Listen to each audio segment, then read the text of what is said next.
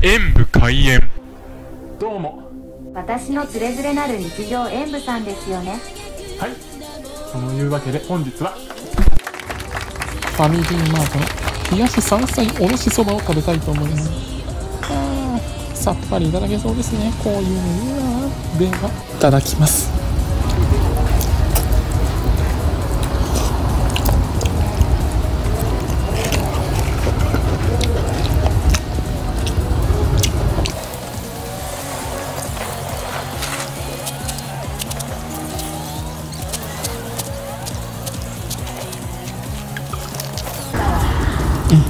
お蕎麦が意外ともっちりしていて野菜もしっかり取れていや山菜というべきですかね。のしっかり取れて美味しかったです。